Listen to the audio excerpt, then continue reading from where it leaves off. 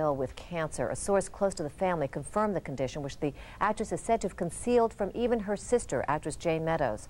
Television audiences through the generations know Audrey Meadows as Alice Kramden, the feisty wife of the cranky but lovable driver Ralph Kramden, played by Jackie Gleason the honeymooners, seen here every night on Channel 11.